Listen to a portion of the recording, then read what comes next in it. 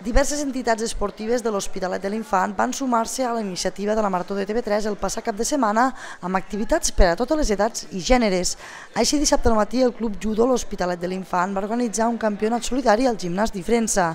Aquest torneig tenia doble objectiu, la recaptació de fons i l'aprenentatge d'aquest esport. Los niños prebenjamines y benjamines eh, de un grupo de clubs que se llama Club de Tecnificación Costa Dorada eh, participen entre ellos y aprendan un poco a competir a lo que es la zona de competición y que también los, la, los chicos jóvenes de entre 13 y 16 años vayan aprendiendo a arbitrar, a hacer de cronos y así se cree un poco más de cohesión. El campionat va plegar un centenar de nens i nenes i es va allargar durant tota la jornada de dissabte.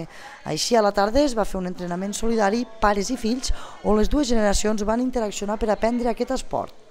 Diumenge, a partir de les 11 del matí, la penya Barça de l'Hospitalet de l'Infant va organitzar un partit de futbol femení al camp de l'Arenal on hi van participar dones de totes les edats. Després de l'encontre, totes les participants i els seus acompanyants van gaudir d'un dinar a base de paella al pavelló diferença. Durant el transcurs del partit es van realitzar diversos sortejos, entre els quals el d'una camiseta del Barça amb la signatura d'alguns jugadors i dedicada especialment a la Marató de TV3.